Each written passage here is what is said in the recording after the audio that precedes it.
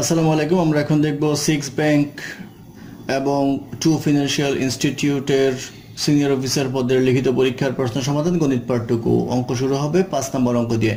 পাঁচ নম্বর অঙ্ক ছিল three partners shared the profit in a business in the ratio 5 is to 7 is to 8 they had pertained for 14 months 8 months, and 7 months respectively, what was the ratio of their investment? অর্থাৎ বলা আছে তিনজন partner তাদের প্রফিটের share ছিল হচ্ছে 5 is to 7 is to 8 এবং বলা হচ্ছে যে প্রথম যে পার্টনার ছিল, তার ইনভেস্টমেন্ট ছিল 14 মাসের জন্য, দ্বিতীয় পার্টনারের 8 মাসের জন্য, তৃতীয় পার্টনারের 7 মাসের জন্য।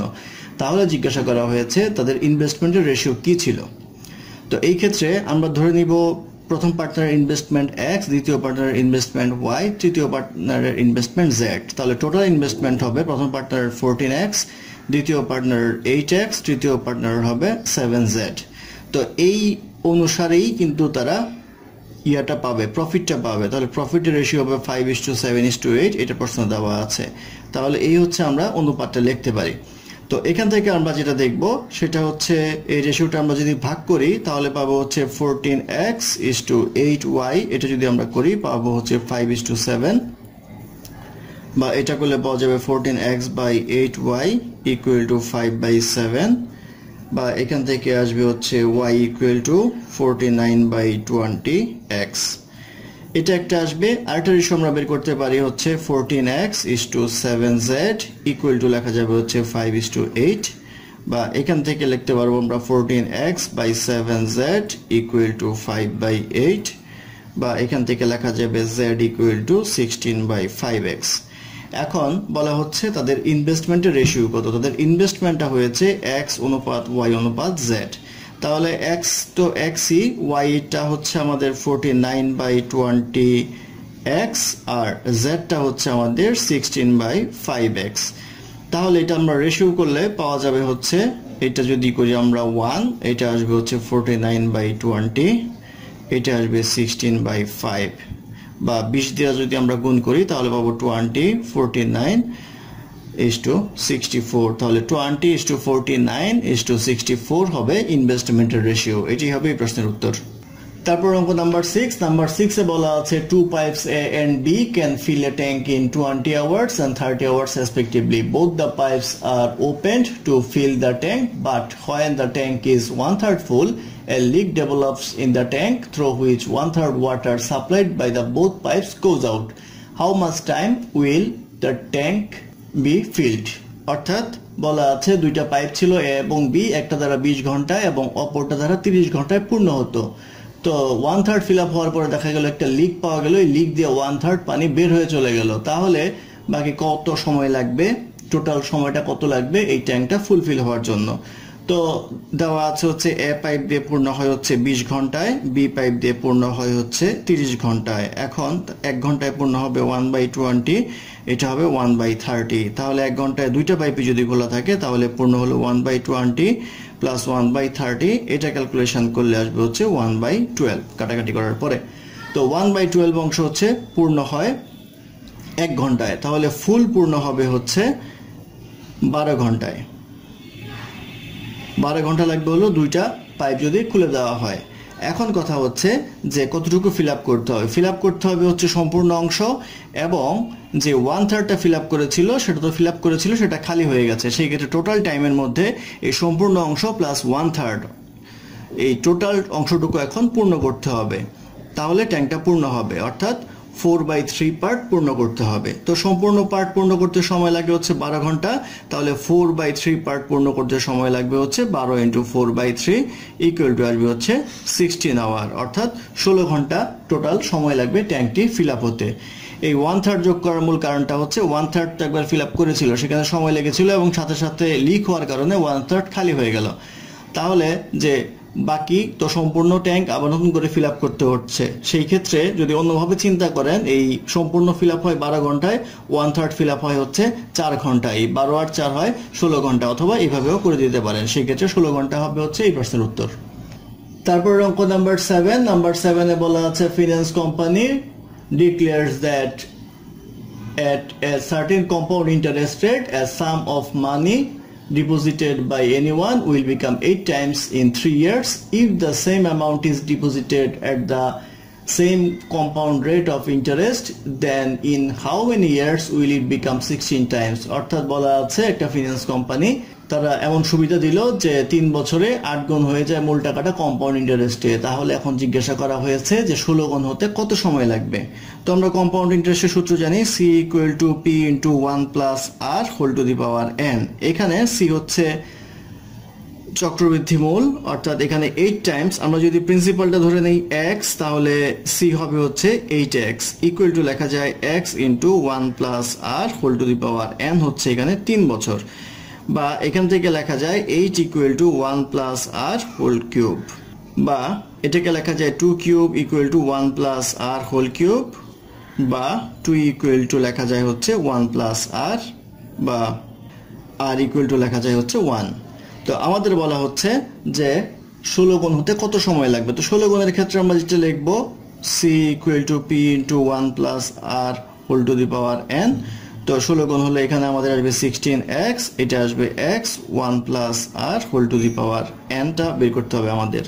তো sixteen equal to one plus R whole to the power n বা ষোলোকে লেখা যায় two to the power four equal to one plus R এর জায়গায় আমরা মান বসাবো আর ইকুয়াল টু ওয়ান এই আসবে। তাহলে two to the power four equal to two to the power n বা যেহেতু বেস বেস সমান পাওয়ার পাওয়ার সমান এন ইকুয়াল টু আসবে ফোর অর্থাৎ ফোর হবে হচ্ছে সময়টা চার বছর সময় লাগবে ফোর হবে এই প্রশ্নের উত্তর তারপর অঙ্ক নাম্বার এইট নাম্বার এইটে বলা আছে an engineer undertook project to build a road fifteen kilometre long in thirty days and employs forty five man for the purpose. After 100 days, he finds 2.5 kilometer of the road has been completed. Find the total number of extra men he must employ to finish the work in time এখানে বলা আছে হচ্ছে, একশো দিনে one point five sorry একশো দিনে two point five kilometre কাজ সম্পন্ন করতে পারে হচ্ছে পঁয়তাল্লিশ জন লোক দ্বারা।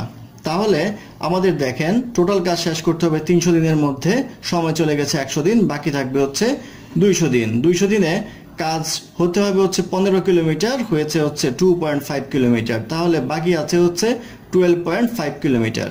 তাহলে আমাদের দেখতে হবে যে একশো দিনে আড়াই কিলোমিটার কাজ করতে পারে হচ্ছে পঁয়তাল্লিশ জন দ্বারা, তাহলে দুইশো দিনে সাড়ে বারো কিলোমিটার করতে গেলে কতজন লাগবে?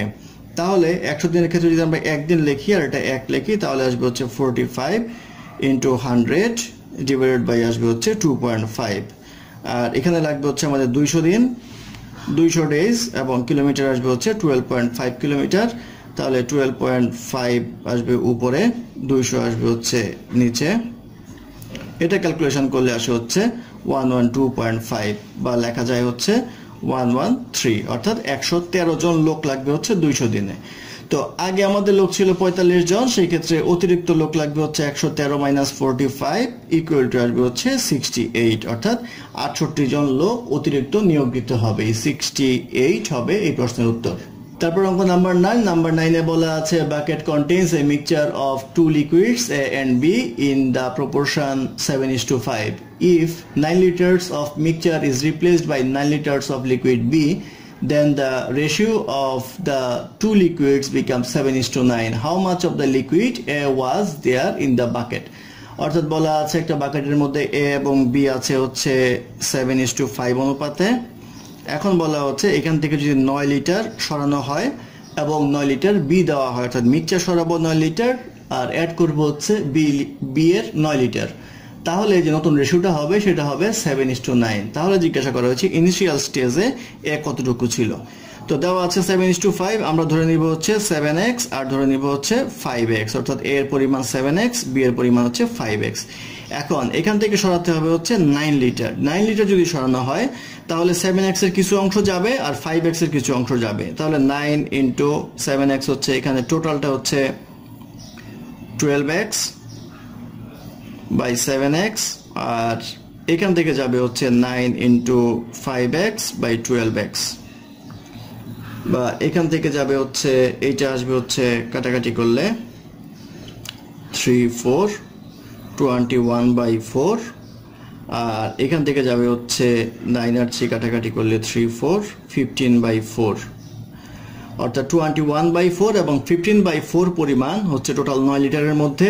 এ থেকে যাবে হচ্ছে টোয়েন্টি ওয়ান বাই ফোর আর বি থেকে যাবে হচ্ছে ফিফটিন বাই ফোর তাহলে নতুন যে রেশিওটা আসবে, সেটা আসবে হচ্ছে এ বি সেটা হচ্ছে আমাদের সেভেন এক্স থেকে চলে যাবে হচ্ছে টোয়েন্টি ওয়ান বাই ফোর আর ফাইভ এক্স থেকে যাবে হচ্ছে ফিফটিন বাই ফোর এই রিপ্লেস হওয়ার পরে বলা হচ্ছে যে নয় লিটার বি অ্যাড হবে। তাহলে বি এর টোটাল পরিমাণ হবে প্লাস নাইন বা এটা যদি আমরা ক্যালকুলেশন করি, তাহলে পাবো four twenty eight x minus twenty one আর এটা ক্যালকুলেশন করলে পাবো হচ্ছে four twenty x minus fifteen plus thirty six equal to লেখা যাবে হচ্ছে twenty x plus twenty one divided by four এখন প্রশ্ন মধ্যে বলা হচ্ছে দুইটা রেশিও হচ্ছে সেভেন ইস টু নাইন তাহলে আমরা লিখতে পারব twenty eight x minus twenty one by four divided by